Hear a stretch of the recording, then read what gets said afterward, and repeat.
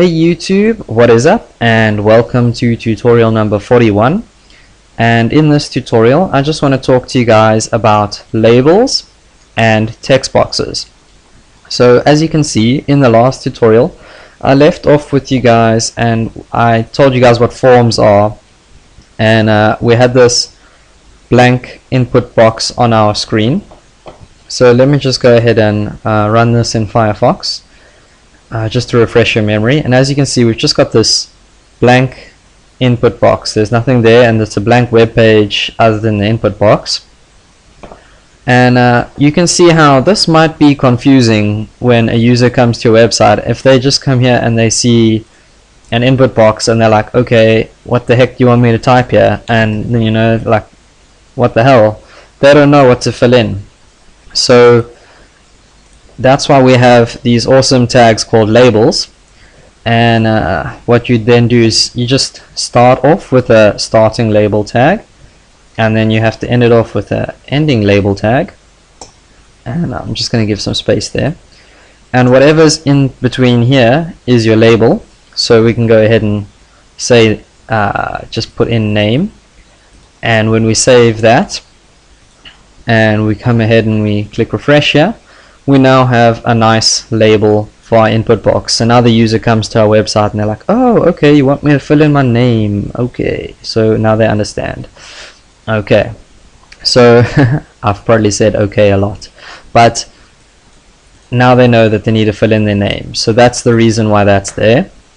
And um, it's good practice to link your label to the input element that it's uh, for.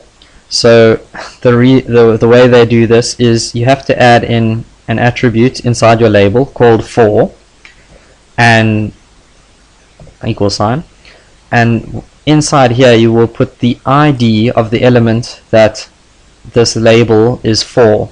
So seeing as this label needs to be for our input let's go ahead and give our input an ID of first name first name and we can probably just go ahead and copy this because these things have to be the same.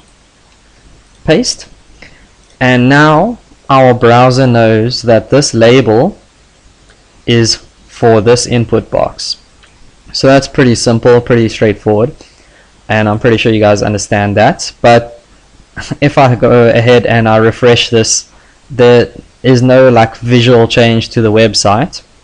So uh, what I'm going to do now is I'm just going to talk to you guys about a few more attributes that you can put in your input box. And uh, I can see we're probably going to run out of space here. So I'm just going to go down to a new line. And one of the most commonly used attributes on a text box is the max length max length attribute and what this does is it sets a maximum length for our text box. Because if I go back to our browser right now and I type in here without refreshing anything just yet if I just type I can type away forever and ever and ever.